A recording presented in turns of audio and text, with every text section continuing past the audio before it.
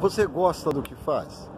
Você gosta da vida que você está levando na sua empresa, na sua família, com seus amigos? Você gosta disso mesmo?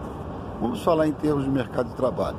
Foi feita uma pesquisa no ano passado nos Estados Unidos e essa pesquisa mostrou que a maioria dos americanos não gosta do trabalho que, né, que executa. Você pensa que é sofrimento. Você trabalhar realizando uma tarefa um, diária que você não tem afinidade e não gosta, uma coisa mais obrigatória. Agora imagine que você gostasse do seu trabalho, que você sentisse amor pelo seu trabalho, que você, esse seu trabalho se, se traga realização, contentamento, paz e tranquilidade.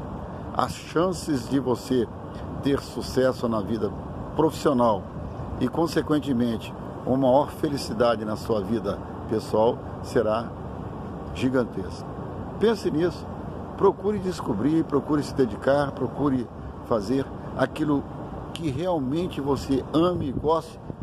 Caso você consiga conseguir isso, você será o melhor profissional e o melhor ser humano do mundo, porque você estará juntando coisas importantes: realização pessoal, felicidade pessoal com realização profissional.